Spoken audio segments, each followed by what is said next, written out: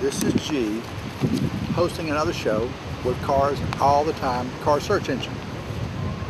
And I have a car for you. It's called a Lykan. Now this Lykan is an actual police car now. Let me show you this picture. Look at that picture right there. That is a Lykan supercar. Right there. Abu Dhabi Police Department bought this car. Uh, now, now let me tell you a little bit about this car. There's previously no better place in the world to be a police officer than Abu Dhabi if you like to drive supercars. Their already impressive fleet has just grown larger with the addition of Lykan Hypersport. Only seven of these were ever produced, making it ridiculously exclusive. Yes. Uh, now it comes with an equally exclusive price tag that all ensures you won't see one of these in your neighbor's driveway. That's for darn sure.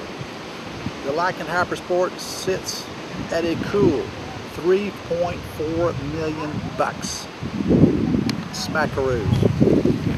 Now, let me show you this one. That the, it's a regular Lykan, but the police department has got their paint job on it. Take a look at this one right here. Cool looking car. Cool looking. It's got some horsepower it. Now this horsepower, okay, 750 horsepower. That's a lot of horses right there.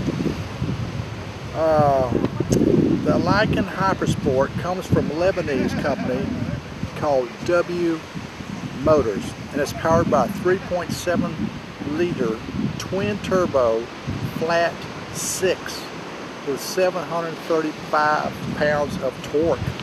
That's a lot of torque for horsepower for that kind of car. Now, the bad guys will have to go pretty fast to stay ahead of you.